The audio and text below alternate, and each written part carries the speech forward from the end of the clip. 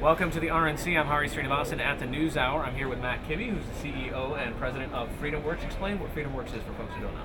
FreedomWorks is a grassroots organization that supports any activist, any citizen that wants to get involved in the public policy process or the political process.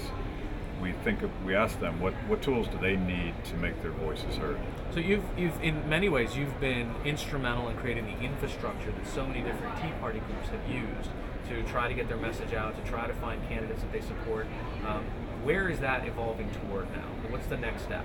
Well, you're seeing it here at the convention. There's a lot of Tea Partiers who are starting to learn the process of governing, the political process. How do you actually get a voice at the Republican National Convention? How do you run for office? How do you become a, a precinct captain? All of these things are an evolution far away from the original protests, even far away from the, the get out the vote machine of 2010. So it's evolved in, in many different ways, and it's, it's, it's, it's really bottom up. People self select. What do you want to do? Okay, and one of the things that we're kind of hearing and seeing is that there are, there are several different strands of what it means to be a Republican or a conservative in yeah. America today. Yeah. And perhaps these strands are not going to be reflected in the, the evening programs, but uh, one of the challenges that we've heard from, say, for example, Ron Paul supporters is that, hey, the Republican Party wants to be a really big tent, and we want to be part of that tent. Why are we not uh, allowed in? Yeah, yeah, I think it's a mistake for the Republican establishment to keep out Ron Paul guys, to keep out Tea Partiers, because there is this insurgent, small L libertarian set of ideas that have brought a bunch of new people into the tent, and that's where the energy from the 2010 election came from. That's where the energy for candidates like Ted Cruz and Mia Love from Utah. We're adding to the size of the pie, and I think I think what, what the struggle right now is them coming to terms with the fact that, that we're in a radically democratized political process now. People don't need the party to tell them what to do anymore. Right, and, and one of the things that uh, uh, has actually been kind of bubbling up underground for people who aren't following this, it's been very important, but um, is this, this rulemaking that's been happening at the Republican National Convention. What's Rule 15 why is it important? Rule 15 is really an upending of the traditional bottom-up process of Republicans choosing their candidates because it, it, used to, it has always started with grassroots activists choosing delegates who choose a candidate. And there's plenty of dissent, there's plenty of fighting, there's lots of opinions in that process. It's not pretty, but this is democracy in action. Rule 15 would literally flip that on its head and allow the candidate to quote unquote disavow any delegate who doesn't toe the party line. Big mistake, uh, potentially disenfranchising all of these boisterous factions that make up the total of the party. And, and it potentially sets up the, the, the potential of a, a third party candidate in 2016. So right now, if there is a dissenting voice, obviously a, a, passage of a Rule 15 would help sanitize the kind of uh, the, the, the, facade of okay, we're all together, we're yeah. all under one yeah. roof, we all believe this one thing, and these are our marching orders. But you're saying that whether it's Democrats or Republicans, there needs to be this active conversation going on. What is the soul of the party? Yeah, and, and this this is what's going on today. I'd love to introduce some of my Republican friends to this thing called the internet because you can actually get this information in real time. You can find out what these deals are. You share it with your friends on social media, and within moments, people found out that they were trying to fix the rules. But this is the it's a clash, and it, both Democrats and Republicans are dealing with the fact that there's a lot of people that control the process now from the bottom up. And I think the party that figures this out first, how do you how do you build a coalition with all of this decentralization? I think that's the party that's going to win in the future. Okay, uh, I've read you're a fan of Paul Ryan in, in many ways. What about the top of the ticket? Do you think that if Mitt Romney's elected, he will carry out some of what you hold so dear? I think the, the ethos of our movement is all about uh, governance from the bottom up. And we, we think that accountability matters. We think that whatever a politician says, you have to be willing on November 7th to make sure that they follow through.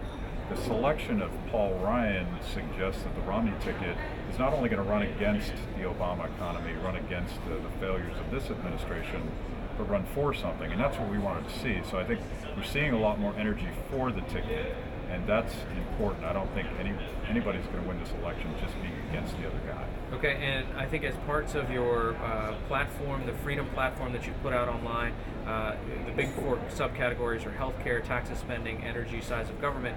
Uh, I noticed that there was uh, an article that said the GOP has taken 11.5 uh, of your 12 policy proposals. What's the point five that they didn't take? The point five is deals with education. They weren't comfortable with a flat out um, shift to education at the state and local level where it belongs. Um, but there's there's language supporting parents, supporting local control of education. We think that's a step in the right direction. So yours yours was to eliminate the Department of Education altogether. Yeah. Federal government has done a horrible job, and they've, they've really corrupted process and undermined the ability of students to, to get what they need.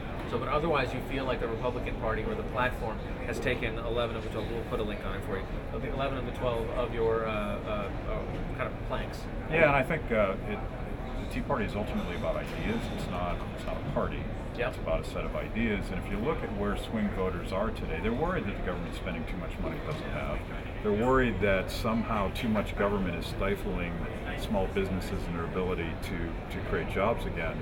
I don't see a big difference between where we are as activists and where those those last few sacred swing voters are today. Do you think that the um, not necessarily the introduction, but the existence of kind of these social conversations or social value conversations uh, cloud what could be a simpler process in deciding our politics today? I mean, in the sense that there's quite a few libertarians that say, really, the government has no business in my bedroom. But really, that exhausts a huge amount of the oxygen in the conversation of, well, where does Obama stand on this and where does Romney stand on this? Yeah. Right? I mean, I, th- I think the, the Tea Party, there's plenty of social conservatives in the Tea Party, and it's a, it's a, it's a marriage of, of libertarians and social conservatives. But what they agree on is that the federal government shouldn't always be involved in dictating those those personal values, and that's a that's a huge shift away from where social conservatives were during the Bush administration, trying to impose, trying to spend money on somebody's particular set of values. And also, oh, can you give us a, a roadmap going forward? Uh, how many different House races or Senate races are you going to be involved in? I mean, do you see that that's the sort of area where you can make that difference? Yeah. More so than the national. Yeah, and it, it's interesting. The map if you look at the electoral map, the map that, that, the states that really matter to the presidential race are states that Obama won in 2008, the Tea Party won in 2010, and almost every Senate candidate that would define whether or not Republicans pick the majority in the Senate are those same states. So you have an inter- interesting overlay on all of the races where the Tea Party has infrastructure. Here in Florida is a great example. You have races like Allen West, you have uh, challengers like Adam Hasner, you have a Senate candidate, the Tea Partiers like Connie Mack, and Florida may again decide who the next president is. So it's an interesting accident of history that all these things line up. And, and, finally, how does the Tea Party stay alive in the sense that it is so many different groups, so many different organizations on a very local level? If there's an infrastructure player like yourself, is there a central source of funding, or where do you get your support from?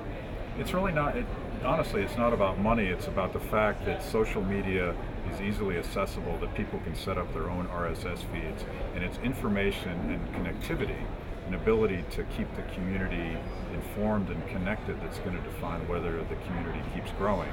And the, the key, I think, is to never appoint a leader, never try to dictate from the top down how this thing's going to work, because that innovation, that local knowledge is what's fed this movement so far, and that happens to be how freedom works.